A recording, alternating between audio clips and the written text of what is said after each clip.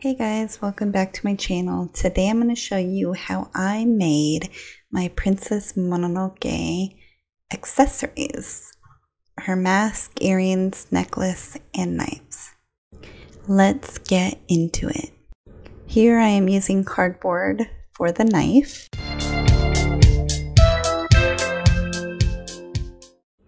What I actually did here was I cut out a couple pieces and I stapled the pieces together.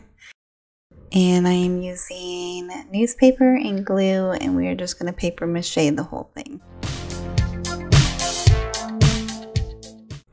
Now that the knife is dry, we are just going to start painting it now.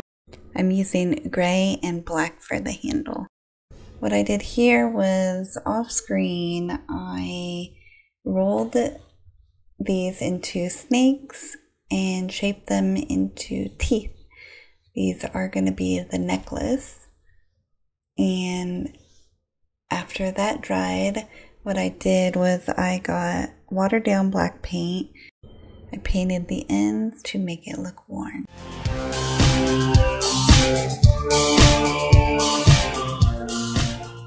And here I used a mixing bowl and put plastic down. This is how I'm going to make the mask. And we are just going to do newspaper and glue and just paper mache the whole bottom of it.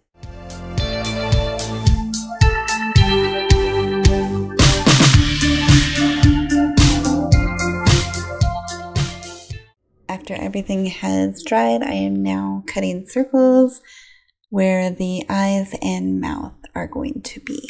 Please, while doing this, be very, very careful. I'm using a piece of sandpaper and I'm just going to be sanding around the eyes and the mouth. Uh, make sure everything is smooth before I start painting.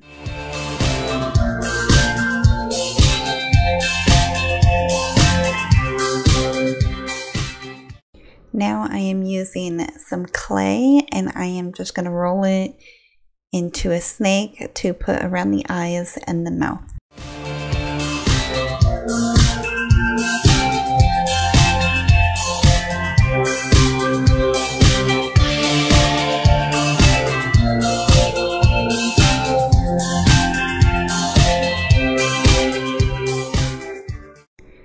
I'm using the same clay and I am going to do the same thing, roll it into a snake and this is going to be for above the eyes and also one below the eyes above the mouth.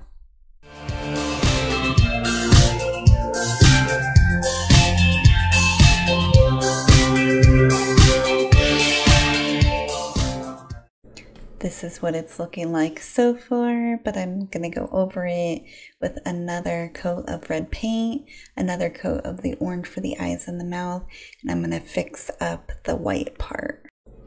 And this is what it looks like when we are all finished. I am to add the fur later on.